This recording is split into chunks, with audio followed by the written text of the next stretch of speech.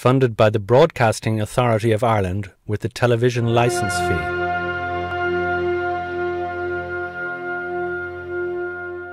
When I was a teenager growing up in County Kildare in the 1980s, I remember for the first time watching on TV the classic 1960s Hollywood movie The Great Escape, starring Steve McQueen and James Garner, in which Allied soldiers tried to escape from a German POW camp during World War II. Now, although that film was to a fair extent a work of fiction, nevertheless, it was based on the real events of 76 men who escaped a Nazi prison camp during the war. Now, what I didn't know at the time was that in 1922, the County Kildare town of Newbridge, which is situated just a few miles from where I grew up, played host to an even bigger prison break in history. To find out more, I met up with James Durney, County Kildare historian in residence and also author of the book The Civil War in Kildare. We're standing right here on location in the former military barracks of the British Army, a cavalry barracks for the British military for some time until it was converted into an internment camp in August of 1922 for anti treaty Republican prisoners. Here at this site, in October 1922, during the height of the Irish Civil War, 149 prisoners made an attempt to escape from the Newbridge internment camp, and the largest prison break in Irish penal history. 112 of them in total escaped, 37 were recaptured, and the rest of them made their way to freedom.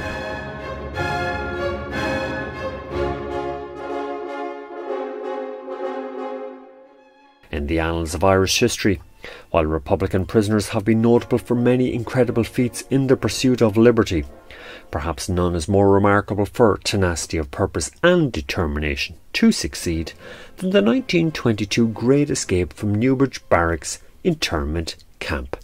James Durney. The escapees successfully hid over a ton of displaced soil without detection, successfully tunnelled over 500 yards, kept the secret of the tunnel hidden from the authorities despite spies that were planted within the barracks in that. It constituted the longest subterranean effort made by Irish prisoners seeking liberty. It's the biggest mass escape in Irish prison history. 112 men in total escaped from Newbridge internment camp in October 1922 at the height of the Irish Civil War.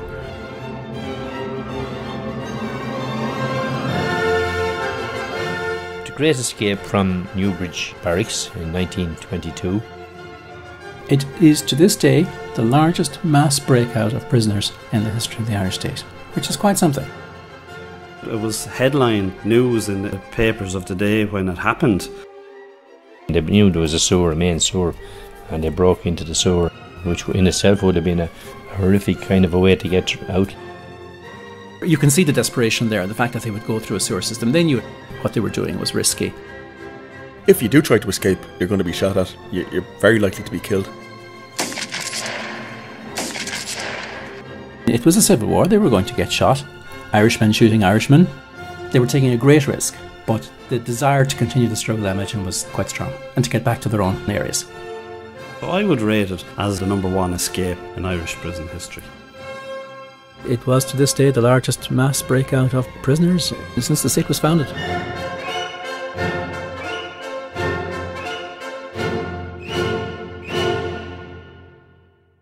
Before we delve into how the Great Escape was planned and carried through, first we need to investigate the roots of the Irish Civil War, which led to Newbridge Barracks internment camp being established in the first place.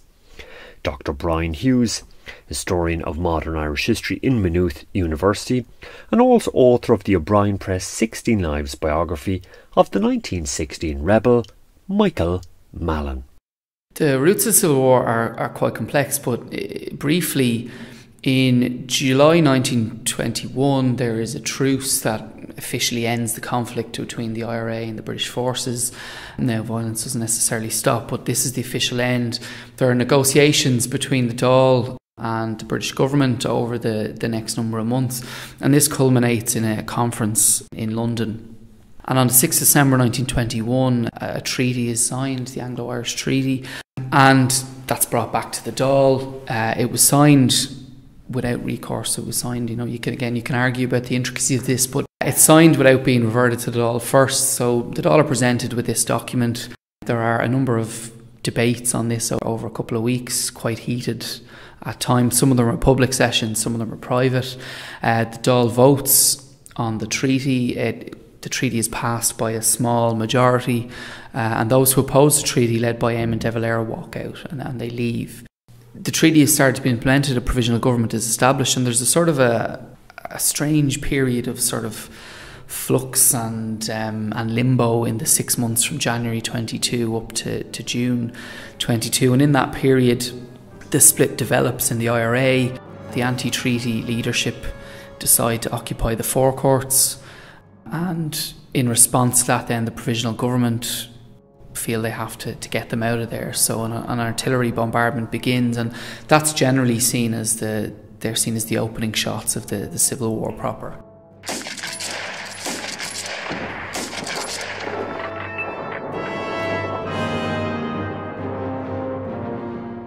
Both sides were convinced that they had right on their side and that the other side weren't seeing the situation correctly.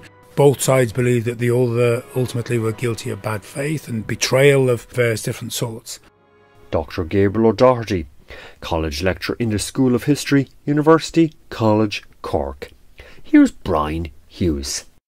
Even though it's a short conflict, it's a very nasty one when the war starts in the summer and in like June 1922, both sides are ready to fight for what they believe.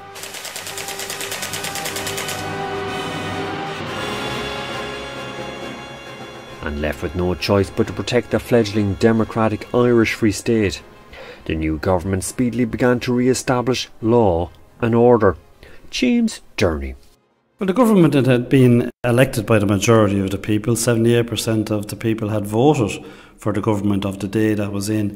And they felt that the state, the new state of Ireland, which was only on its feet, was under attack, under serious attack by Republicans. And they decided that they would have to introduce draconian measures to see the survival of the state. I mean, they're only after signing a treaty with Britain after getting a measure of freedom for the 26 counties of Ireland, and that and they were under attack straight away from Republicans who were in the minority, and they decided that the only alternative was to introduce hard measures to put down the civil war. They didn't want to fight a civil war no more than the Republicans wanted to fight a civil war, and they used internment then to take the people out of the business of fighting before it even happened. And internment starts straight off. I mean, they start lifting people and jailing them so they would nip it in the bud before fighting erupted in certain areas. And it is, it is quite successful. And as James Durney just mentioned, with the outbreak of civil war, the pro treaty provisional government began interning thousands of anti treaty Republicans. So, what exactly did internment entail? Dr. John Dorney, historian of modern Irish history and also author of the book Peace After the Final Battle The Story of the Irish Revolution. Ireland has a tradition of common law, which is derived from, from British law, and common law has a thing called habeas corpus, which means that you cannot be arrested without charge. Now, what internment means is that's suspended, right? That you can be arrested based on the judgment of a police or military officer. Now, the, the police force was very informed, so really you're talking about the military. They could arrest anybody they wanted on suspicion. That's what internment is. Internment was used by the British during the War of Independence, and there wasn't formal legislation until September 22, actually, but de facto it was used from the start of the Civil War. The primary reason they would introduce internment is to get the situation under control, to get anti treaty Republicans potential threats to this fledgling state, to get them out of the way, to get them behind bars, and to, to control them. It's a way to crush anti treaty opposition because it means you can take huge numbers of suspect uh, individuals, you can take them out of action very, very quickly without having to go through the courts. Historian Brian Hughes. Here's John Dorney. What the government had was a situation they didn't anticipate, which was that they had, in the course of a few months, they had thousands of prisoners who they had to house, which they, a problem they never anticipated the jails which they had just inherited from the British, the British had handed them over quite recently. in some cases in January 22, some cases uh, April 22, in some cases well into the Civil War. The jails like Mountjoy, Maryborough, Kilmainham. Kilmainham was actually closed, had to be reopened. These were filled to bursting point, and the government had to do something about it. And they came up with a number of, of solutions, some of them weird and wonderful. One of them was Lambay Island, just off Dublin Bay, which was used for prisoners after the Battle of Aughrim back in 1691. And the government looked into the possibility of putting an internment camp there for obvious reasons. You can't, unless you can swim very well, you're not going to escape. They looked into it, they could they found there wasn't sufficient water supply, so they had to give up on that plan. Um, another thing they looked into was St. Helena. Now, what the plan was in cooperation with the Royal Navy, the British Navy, that they would ship prisoners off to St. Helena. St. Helena is an island in the South Atlantic. Famously, Napoleon Bonaparte died there. Very, very isolated. The British agreed in principle. After, you know, kind of protracted investigation, they found it wasn't practical. So the third thing they came up with was they were going to open internment camps. Usually they were around military bases. Now, the major internment camps were in Gormanston in North County Dublin, which was a, a former uh, depot for the Black and Tans. It was a military base occupied by the Black and Tans in the War of Independence period, and then a military base that was made into a very large internment camp. And the two biggest bases were in County Kildare. So you had uh, Newbridge and the Curragh. And so they were both fairly major military bases and they were expanded to be large internment camps. It was decided that they would use the British military barracks in Newbridge, the old cavalry barracks, as an internment camp, simply because of its capacity to hold so many men. I mean, it was built originally for three regiments of cavalry and had been used by the Royal Artillery as well so its capacity was probably in the region of 1,500 troops during the British days. Paul Cook, historian and researcher with Newbridge Local History Group. So, where exactly did internees stay in Newbridge Barracks internment camp? They were mostly housed in the central main barrack block, which ran right across the width of the barracks and included the central arch. They were also housed in the stabling units, the stables at the back of the main central block, and in the officers' quarters on both sides which were at right angles to the main block. The barracks was secure. There was quite a tall, high, 12 foot wall surrounding the entire site. There were a number of gateway entrances at each part of the barracks two main entrances on Main Street, one facing the river, two on the Royston side, which was on the uh, southern side of the barracks, and one out on the west side. But they were all very easy to secure. On the buttresses at each corner of the barracks were placed arc lamps to light up the barracks at night for security. Uh, there were also arc lamps on the bridge, so the bridge was protected as well. And uh, Newbridge would have been quite a sight, lit up like a Christmas tree at night, you know. So, just how strict was the regime and security in Newbridge? James Durney. It would have been strict enough now. I mean, there would have been guards patrolling the walls and that, and uh, there's there's no real stories about anything happening in in the the camp that I know of or I've come across. But it, it seems to be, you know, basically that the guys are held at the will of the state and that, but there doesn't seem to be a whole lot of animosity among the guards and the prisoners. That comes later on. And as historian James Durney just touched on, hostility between guards and internees increased as the Civil War dragged on. However, in early autumn 1922, relations in Newbridge were still relatively peaceful, which was a marked contrast to many prisons at the time. John Dorney.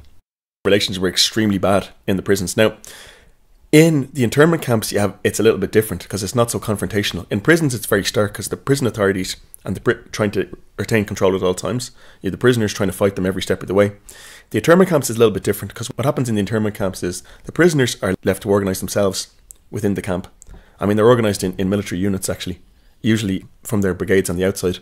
They reconstruct them on the inside, and, and they have to keep order among themselves. Now they're supplied with food and stuff, and the, and there's a, a level of cooperation needed. But generally speaking, it's much less kind of confrontational, unless the prisoners actually try to escape.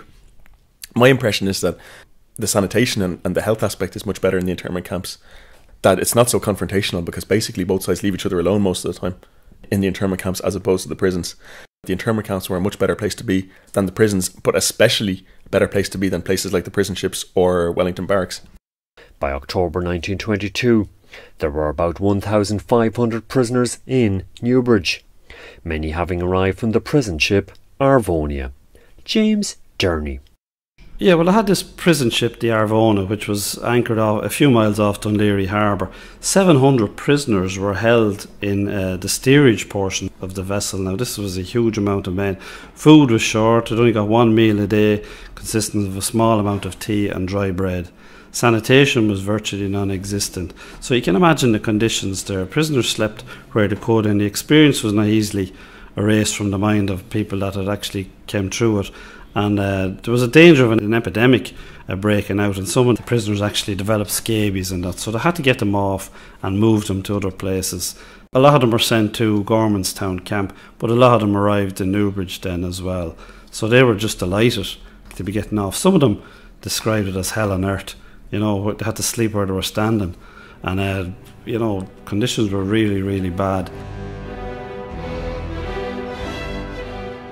The prison ships the experience of prison ships was pretty miserable because they would have been obviously damp. There wouldn't have been a lot of room. It was dark. Dr. John Borgonovo, college lecturer in the School of History, University College Cork. But it was also, the air was apparently stifling. Um, they weren't allowed up on deck all that often.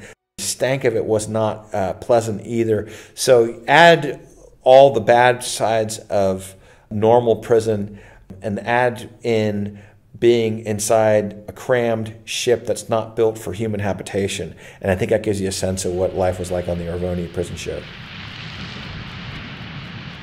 One prisoner, uh, Jim O'Keefe from Kilcock, described it. He said that bread was fired in, the best catcher getting the most. And we think of conditions like this in the Second World War where you saw German guards throw bread into the Russian prisoners and all that. We never believed that these things happen in Ireland with our own people doing this to, to one another and that.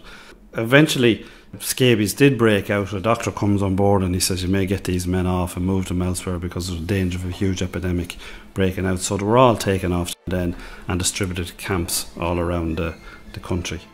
With a good number of prisoners going directly to Newbridge internment camp, including uh, Jim O'Keefe, who had described the conditions there as well and who was delighted, he says, to be away. and Jim O'Keefe's brother Pat, who was also on the prison ship Arvonia, later wrote the following account of their getting off that ship. On the day the relief ship came, my brother Jim was on the sick list and was scheduled to leave, but unfortunately I wasn't, and so I was to be left on board for the time being. I was very depressed over having to part from Jim. Then the officer in charge said, There's room for two or three more. Who will volunteer to come? I accepted immediately, along with Kit Lynham. I was glad to get off that ship, I can tell you. Jim told me that a few days previously they were thinking of scuttling her with all on board. Also on the prison ship was the bulletproof car which Michael Collins had the day he was shot. It was brought by sea from Cork to Dublin. Their relief ship sailed over to the North Wall, where we disembarked and went by rail to Newbridge Barracks internment camp. God, it was a blessed mercy to be off that hell ship, Arvonia. So, what exactly were conditions like for the O'Keefe brothers, Pat and Jim, and also their comrades in their new home in Newbridge? John Dorney. Just to give you an idea of what life was like for the prisoners in Newbridge, I have here the prison diet, which was laid down by the authorities. For breakfast, one pint of tea, eight ounces of bread, and half an ounce of butter, and half a pint of milk. That was breakfast. Dinner was is in those days uh, what we call lunch. They call dinner. Four ounces of cooked meat with broth, uh, one pound of potatoes, cabbage, and bread. Same thing every day. Dinner, which I guess would be like supper. Um, uh, or sorry, Friday because everyone is, is religious at that time. There's no meat. There's bread, potatoes, soup, rice. Uh, supper is one pint of tea or cocoa, bread and butter and milk. Now that's what they're supposed to get. If they got that every day, would be would be a whole other thing but that, that's what's laid down. And as it is, it's, it's not exactly luxurious. It's the same thing every day.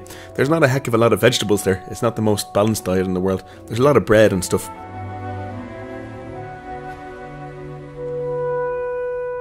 And what did the daily routine for most Newbridge internees entail? James Durney. Daily routine was wasn't lot, like every prison camp. There's not a whole lot to do. So uh, football really occupying the minds of many of, of the men here as well. And you had a lot of guys, you had a lot of leaders of the Republican movement here. And of course, you had a lot of them that were strong Gaeilgeoirs, strong GAA men. So it had tremendous football games in the barracks as well. There was a hockey pitch that the British had used there, and this was converted into a Gaelic football pitch for the internees. Some of the prisoners and even the guards remarked that the best football they had ever seen in their lifetimes was conducted behind a wall in Newbridge.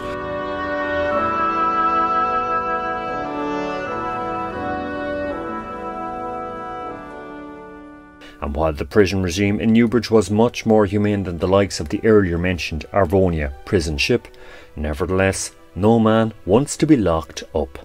So, just how strong was the urge in most internees to escape? John Borgonovo. I think that some prisoners felt a duty to escape. I think other prisoners decided that prison was safer than being out on the run. Um, at this stage of the Civil War, being a fugitive was not easy. There was a lot of public hostility. Living conditions were horrible. Also, there's a danger that you might be shot out of hand as soon as you're arrested. Uh, so, prison in one way is uncomfortable. On the other hand, it's also safe. You're not going to face death. So I think a lot of prisoners were happy with their lot. Now, that being said, some people felt an obligation, a, a duty to escape to help their comrades who were still fighting.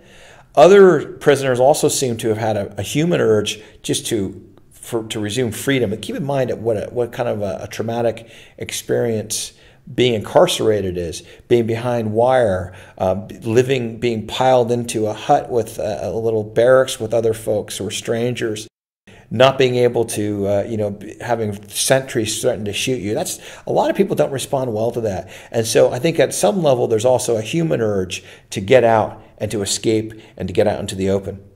These guys would have considered themselves prisoners of war, and it would have been their duty to escape. So this would be in the main motivation.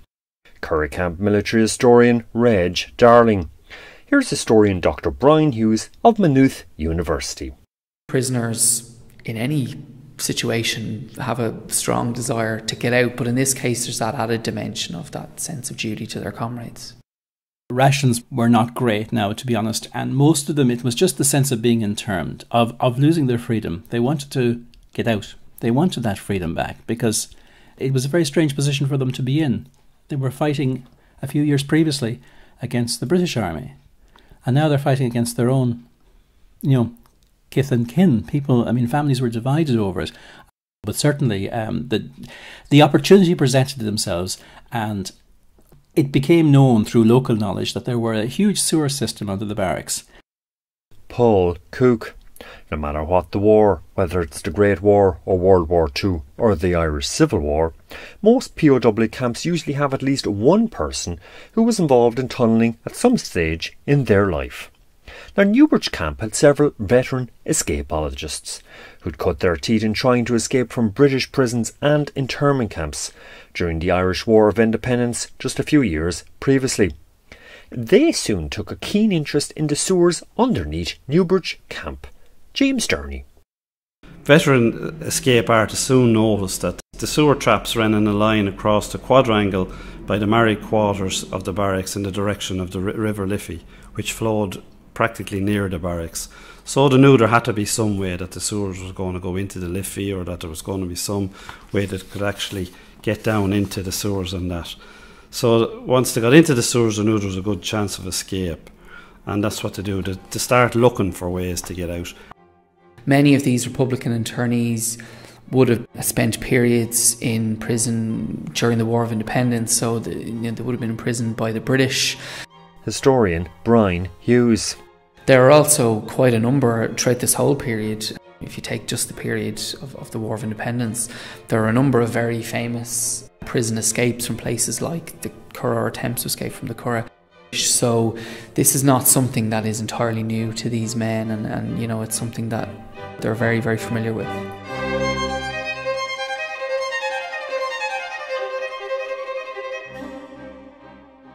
One of the main tunnellers in the camp is a guy from Donegal. He's not mentioned by name, but he's he's supposed to be a miner, so he knows what he's doing. And uh, they have to improvise little bits and pieces of uh, stuff to uh, actually get themselves out. Uh, he was an experienced miner. He constructs a tunnel into the sewerage drain, and they actually found uh, plans of a, sewerage system which had been used by the Board of Works. So once they found that, then as well, they knew how to get out, and uh, they, start to make their uh, plans for escape. The idea is that they were going to have originally they were going to have three tunnels, and we're going to empty the whole camp completely. But it became uh, they thought that the plan was too ambitious, like that there's no way they were going to get 1,500 men out of the, the camp. So they decided to settle on one tunnel and try and get out as much men as possible. The idea was that the guys that were further afield in the country went out the first night, and then the more localised men from Dublin, Kildare, Wicklow, any of that, they went out the second night because they didn't have so far to travel. The idea the first night is these guys have a lot further to travel. They would hide the fact that they were gone the next day and try and get out as many as they could the following night, and so on and so on until they were discovered.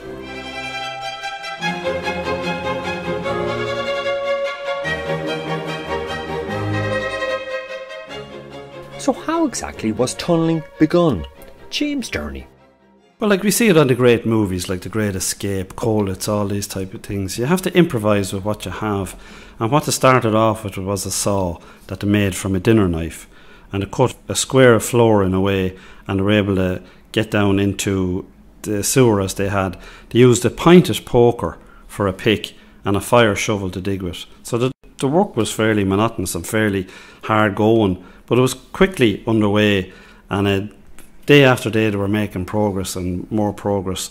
With um, some of the guards uh, were in the room while this was actually happening. There was guys digging out underneath from them you know, originally soil from the tunnel was disposed beneath the floor of the room, but later the loose earth was stored in the top floor of a three story building in the camp, and it remained undiscovered until the demolition of the barracks in the 1960s, where it was thought to be peat from the Bord na Móna factory, which occupied part of the barracks site from 1939 to 1940.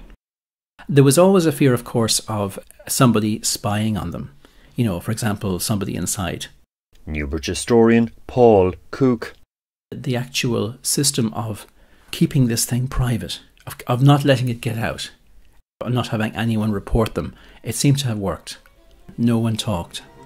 And um, they, which was absolutely yeah. vital to an oh. operation oh. like this because obviously, if it, uh, w- one word gets out, that's it. It's yeah. finished. Yeah. So there, I, I would imagine there was probably dire consequences for anyone that breathed a word of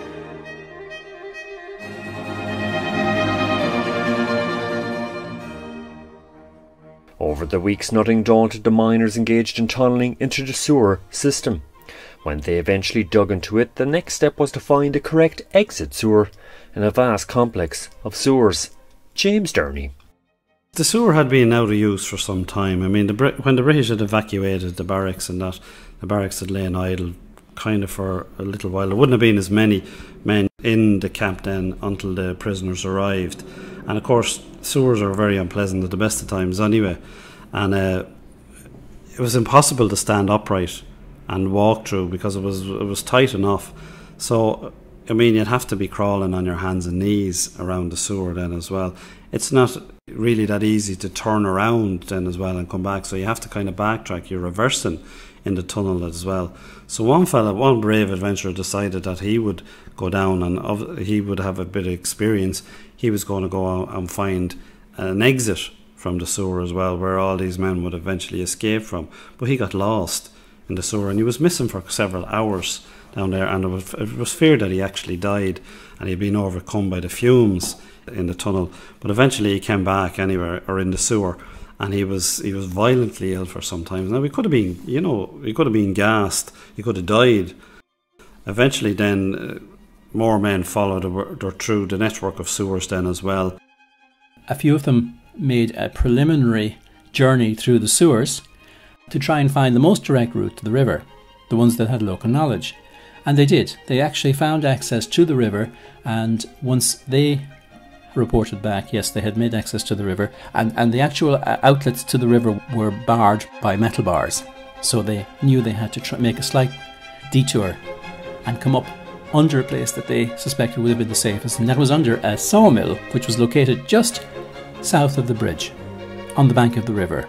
This was a sawmill and a small forge run by a man called Joe Nolan, local man, who had a house on Main Street. Next, incidentally, to Commons's, right next door to Commons's. Commons's public Cummins' house. public house.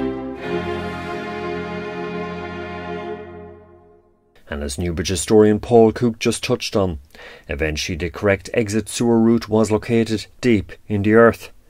From its point of entry in Newbridge Camp to its point of exit situated under a sawmill beside the nearby River Liffey, it measured a distance of 500 yards, which is nearly five soccer pitches in length.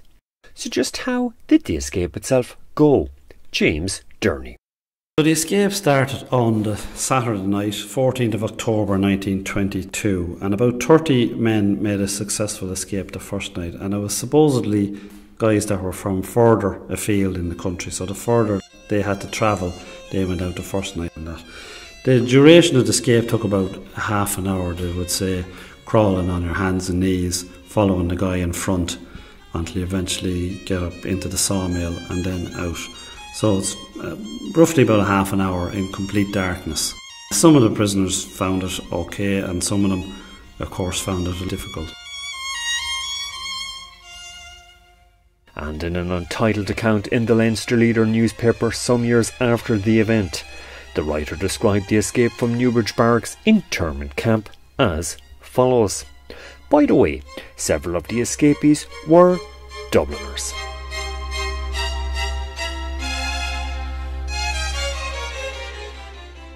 The lifting of the flooring revealed a dark pit into which one dropped.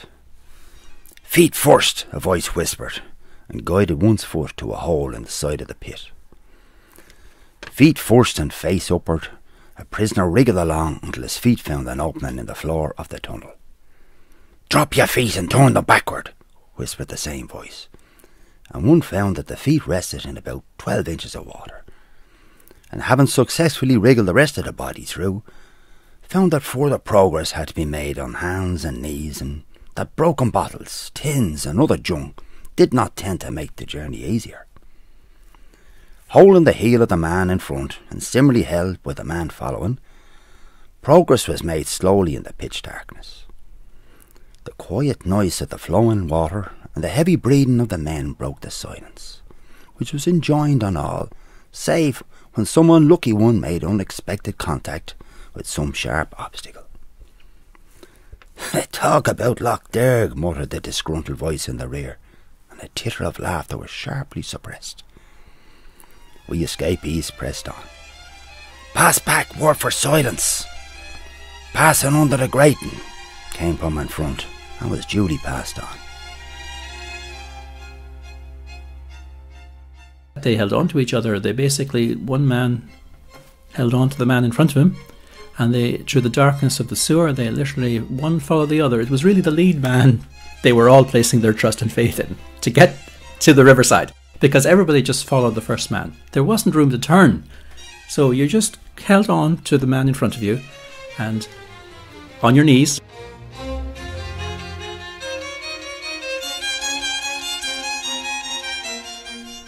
At last came the order. Up here! And one found the ground rising and the water was left behind. Through here! And still a further opening, this time through a floor. Then quickly came the orders. You're in the sawmill on the bank of the river. There's an armed guard on the bridge. When the door is open, don't walk, but roll down the slope to the river and across. Don't make noise, or you'll be under machine gun fire. Good luck. Make your way as best you can.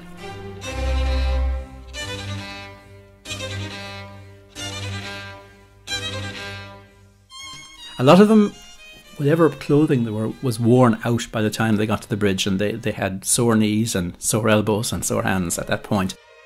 And then eventually they get into the little sawmill on the bank of the river, and then they come out the back, roll down the slope to the River Liffey then as well. And a lot of guys, like, I mean, they're in a pitch darkness. It's not like now where there would be street lighting and that, and things would be not so dark. But here we're talking about pitch darkness into a river then that you're very unfamiliar with. You don't know how fast it's flowing, how deep it is, whether you can swim in it, whether you can even swim at all, and then you have to try and escape.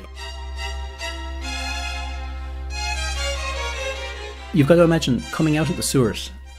They're not a pleasant place to be. So the first thing is into the river. Once they got out, into the river to clean off. Because I mean, you can imagine the stench of just just trying to make your way crawling. So that once they came out in the river, they would have been in a in a fierce state. And I'm sure glad to be in the water, even if it was very cold. And um, I think the main issue was to stay dead quiet, to be able to come out under the sawmill, get down over the riverbank into the water, and very, very quietly make their way up towards what is now known as the watering gates near the old gasworks on the other side, and then get across the river, and all without alerting the sentries on the bridge. Because one sound, you know, a cough, a sneeze, you can imagine, it could have blown the whole operation. A, they must have been extremely disciplined to be able to maintain that stillness and that quietness so that the sentries on the bridge wouldn't be alerted. And Paul, what amazes me, it was actually a calm night. It was a becalmed, clear night. Yeah. So I mean, all the weather, even the weather, was working against them on this one. Yeah, and yet they were able to maintain that pure silence, no talking, nothing, just crawling or swimming and getting across the river very quietly and up the other side, even though they're freezing. And they all did it and, and succeeded. And the sentries, they must have been asleep. How could they not have discovered them?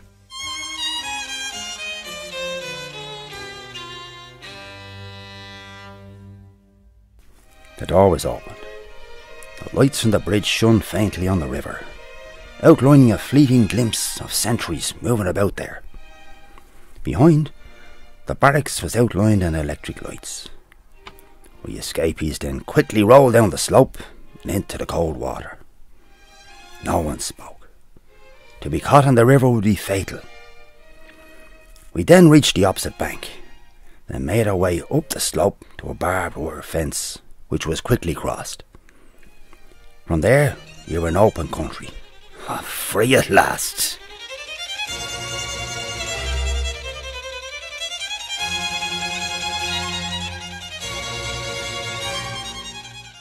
Once they got to safety, out of sight of the machine guns and the lamps, their first thing would be just run, get as far away from there as possible. Because if the alarm sounded, it perhaps not on the first batch of them that got out, but the next lot may have been seen, they had a very short period of time to get away. And they would have scattered as quickly as possible and as far as possible. And some of them uh, would have had contacts, they would have had shelters to stay in overnight. But most of them, I think, on that first night just went as far as and as quickly as they could away from Newbridge and the area. I could well believe it. I'd say there was wind in defeat that night. Yeah, there was there was a great sense of relief and of freedom, and I'm sure um, they, they, they some of them would have stayed together in small groups, but to minimise the chance of a large group of them being captured, they would have split up as quickly as possible.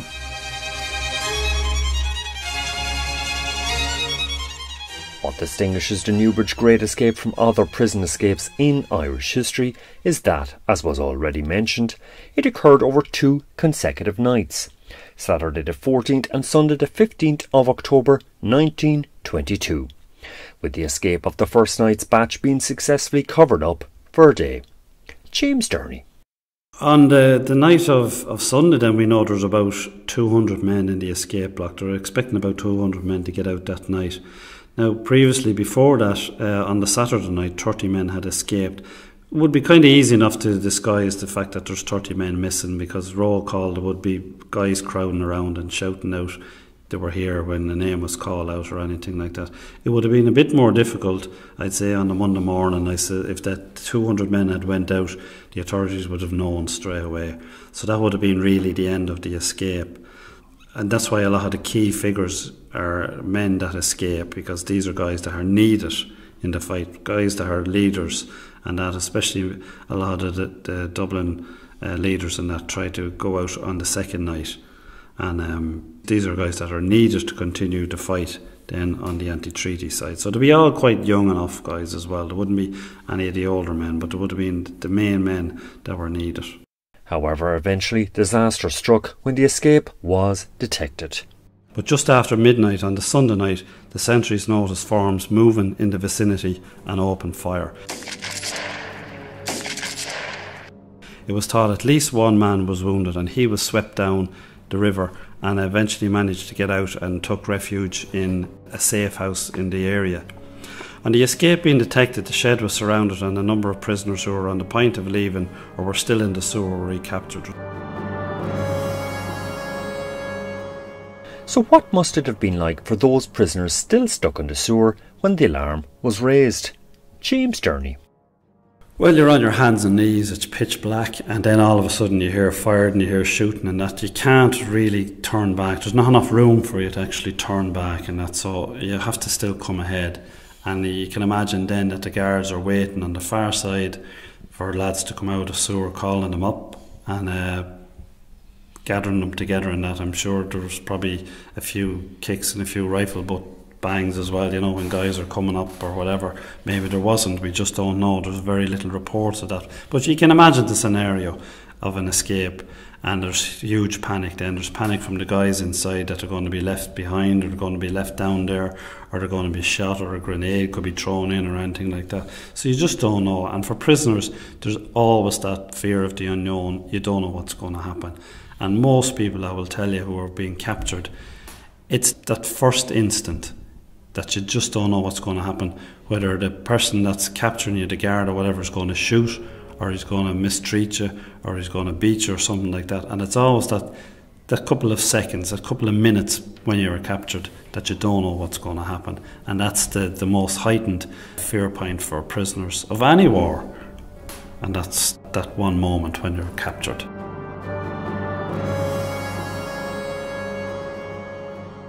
The place was lit up with arc lamps on the ends of the barracks and on the bridge. And once the alarm was raised and the sound went off, of course, it would have woken the whole town. And the sounds of gunfire were reported, you know, by the locals and by the newspapers later on.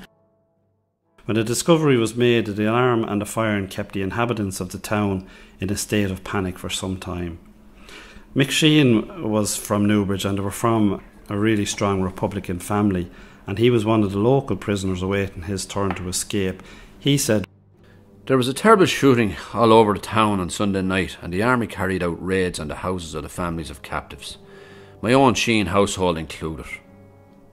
With absolutely no regard for men, women, or children alike, the soldiers terrified my parents, lying that all attempted escapees had been shot in the river. On the same night, my good parents were pulled from their beds. Also, my 10 year old brother Joe was pulled from his bed, where he lay ill at the time. My mother later got Father Horn, the curate in Newbridge, to call to the barracks inquiring if I was one of those shot. Thanks be to God I wasn't.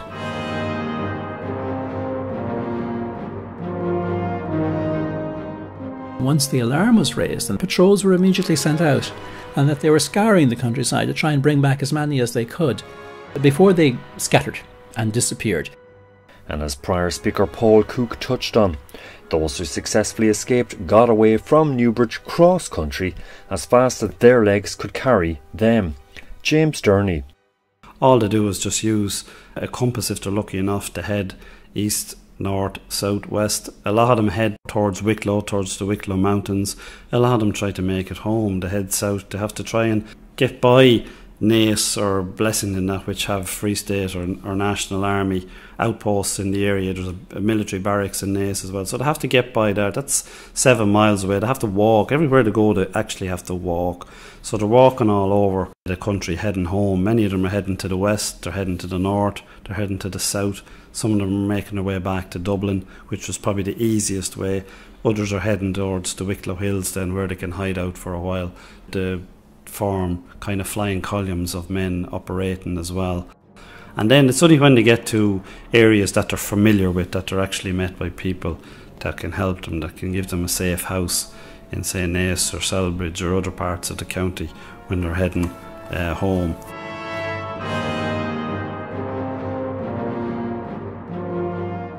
However, of the 149 men who broke out, 37 were quickly recaptured by National Army troops. Camp military historian Reg Darling. 37 were recaptured, so I presume that they still, you know, they didn't, they had a lot of sleepless nights after escaping because they were wondering who was going to knock at the door or who was going to come into the barn or wherever they were hiding or the dugout. And one of the factors which made life very difficult for escapees from Newbridge was the high quality intelligence which the National Army had on Republicans and their safe houses. But I would have known these people because, I mean, they were all on the one side a year or two beforehand. So, I mean, they were relatives and cousins and whatever. So, I suppose, you, you know, it would be hard for them to just disappear into the unknown. I mean, the, no matter where they went, somebody would know them and loose talked and uh, or maybe deliberately uh, informing on them. You never know. Maybe somebody mightn't like a fella and he'd, he, he, he'd rat on him and that's, you know. And that was the end of his liberty. Exactly, that was, yeah, yeah.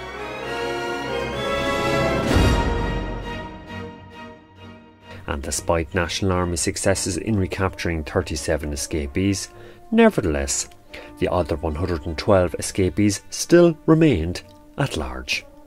Now, as might be expected, the escape was a huge embarrassment to the government, as well as making great copy in the national and local press.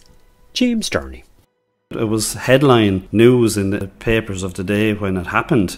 You know, one of the headlines in the Kildare Observers escapes from Newbridge internment camp. Big number of prisoners get away, escape by an old sewer.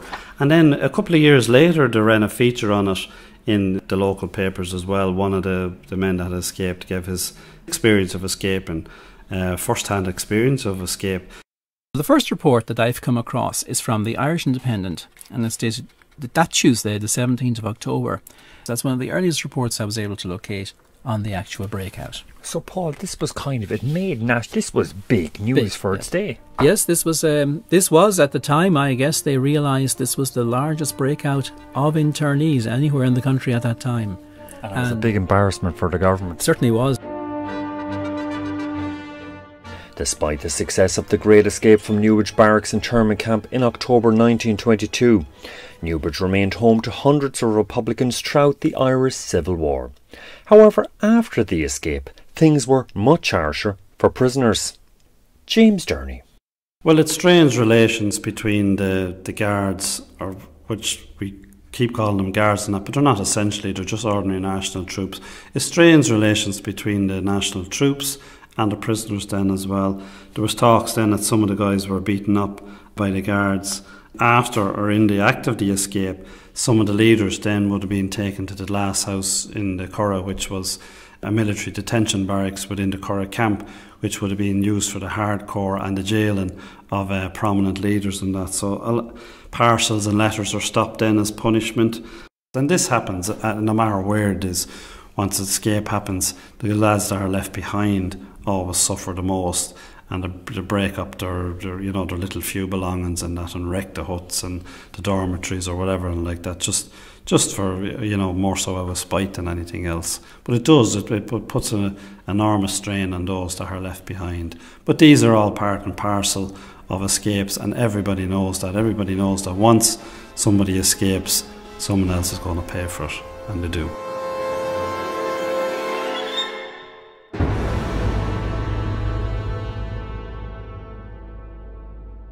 and of all the people to escape from Newbridge in the Great Escape. The one who became perhaps the biggest thorn in the side of the government was a man named Neil O'Boyle Plunkett. Rather than return to his native Donegal, he instead led a group of fellow escapees to the Wicklow Mountains, where they procured arms, established a so called Plunkett Flying Column, and began a guerrilla war of their own. Historian John Dorney. Plunkett or Boyle uh, is a Donegal man, but he, he escapes from Newbridge in, in, the Great Escape, and he, he joins these guys. And by this point, they've been pushed out of the Central Highland area of the Dublin Wicklow Mountains, and they're in a remote area to the east of Blessington. Now, this is the area nowadays which is the reservoir, the lakes, in Poulaphouca. Uh, at that time, that hadn't happened yet because the place was flooded in the in the 1940s to make the reservoir. But they're in these remote villages around Lacken and, and Valleymount, which are just as you come down from the high mountains. And in those days, it would have been a very remote area. There's really only, even today, there's really only one road from Blessington towards these villages. And the men there, depending on which side you believe, either had a lot of support among the local uh, villages and, and, farms, or if you believe the National Army accounts, they just intimidated them and, and, they took what they want.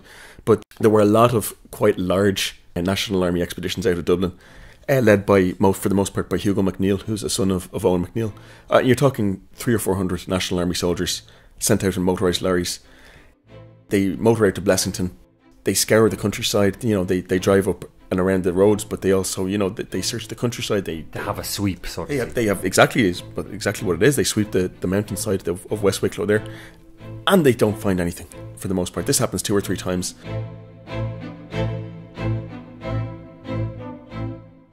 However, soon after the Civil War ended in April 1923 with an IRA ceasefire order, O'Boyle Plunkett's luck ran out. After the ceasefire order, there's another, a final National Army, big National Army operation in Blessington to try to eliminate these people, the Plunkett column under Neil Boyle. And this time, they actually managed to surround them in a village in, in the vicinity of, of Valleymount, in a, in a townland called Knocknadrusive. And there's 12 men in the column by this point, now, again, there's very divergent accounts. What the anti treaty I'd say is that there was women in the house, and uh, Neil Boyle says, We'll send out the women, and uh, you know, we, we so there will no harm will come to the women. And he comes out and he goes outside, and the and the cowardly Free Staters shoot him dead. You know, and that's not the anti-treaty. Uh, sorry, the pro-treaty National Army says, you know, we, we cornered the irregulars in the house, and the and the cowardly rats tried to sk- tried to. They didn't use that language, but the, they say the cowardly irregulars tried to sneak out at the back, and they got they, they got what was coming to them. You know, and and Boyle was killed. Uh, but Boyle, Neil Boyle Plunkett, the leader of the column, w- was shot down, and the, and the rest of them were, were captured, and that was the end of the, the Plunkett column.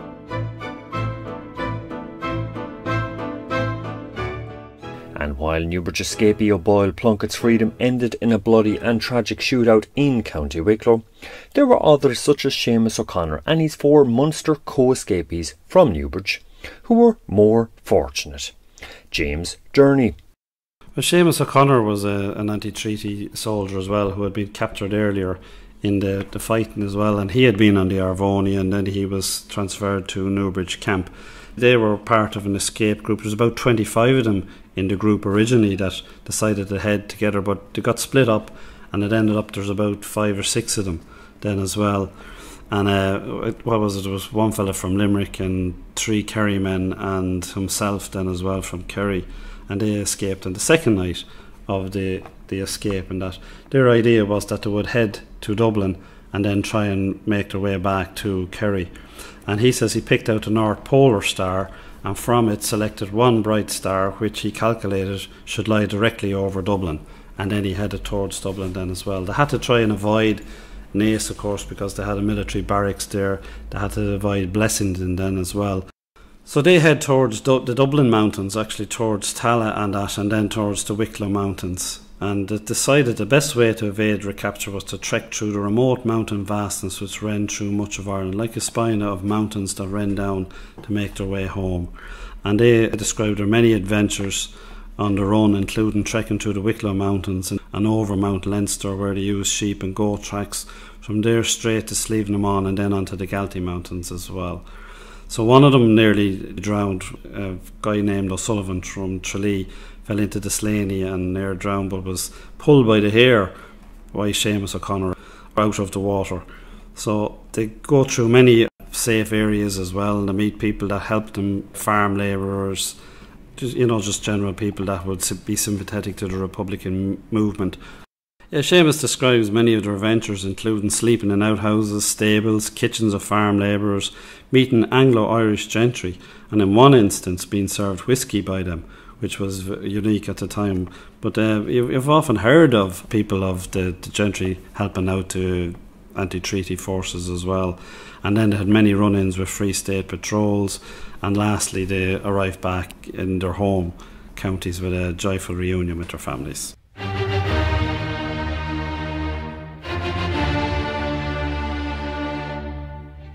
The exploits of Seamus O'Connor and his anti treaty Republican comrades in arms were part of that unique episode of the Irish Civil War, which became known as the Great Escape, constituting as it did, both then and also to this day, the biggest prison break in Irish penal history.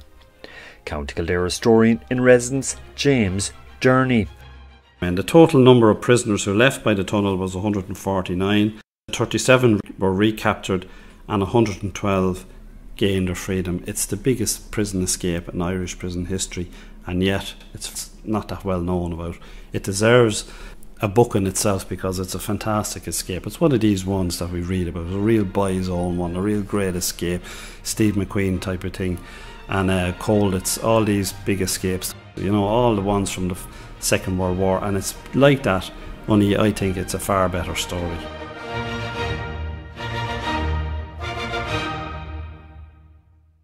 So, why is it that such a remarkable story as the October 1922 Great Escape from Newbridge Barracks internment camp isn't better known?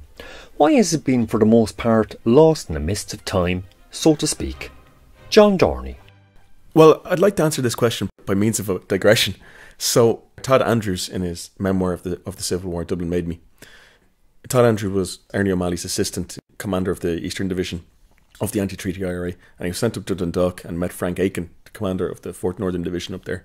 But basically, Aiken had the most successful, probably anti-treaty attack of the war. 200 men took the whole town of Dundalk, including the barracks, and freed 300 prisoners. And Andrew's verdict on the operation is very interesting. He says this was a far more successful operation than anything we managed against the British. And he said, but nobody remembers it. And, and he said, he muses to himself in his memoir. He says, why not? He says, because in civil war, there is no glory he said there are no monuments to the victors in the Civil War. There's only graves and memorials to the dead. And I think that that summarizes very nicely why people don't remember events like the fall of Dundalk or the Great Escape from Newbridge. I think had it happened against the British, there'd be celebrations, there'd be folk tales. But to repeat Todd Andrews' phrase in Civil War, there's no glory. No one wants to remember.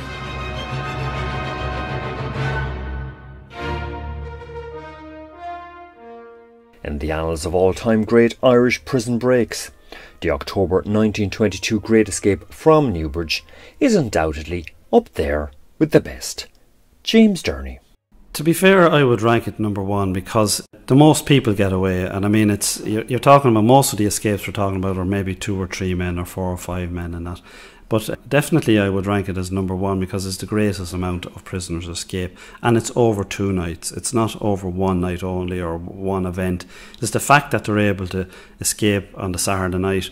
About 30 men escape, keep that from the authorities with spies in the camp and all that, and nobody knows anything about it. At a roll call the next morning, they're able to disguise the fact that there's 30 men missing, and then they're able to do the same thing on the Sunday night, and the authorities still haven't a clue that this is going to happen.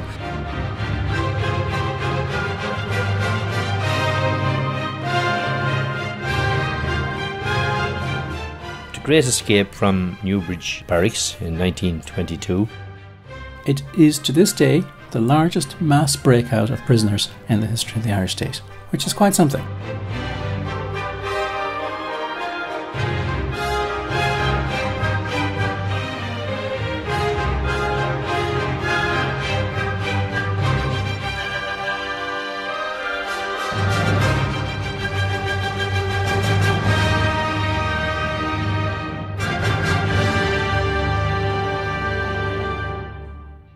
I would rate it as the number one escape in Irish prison history.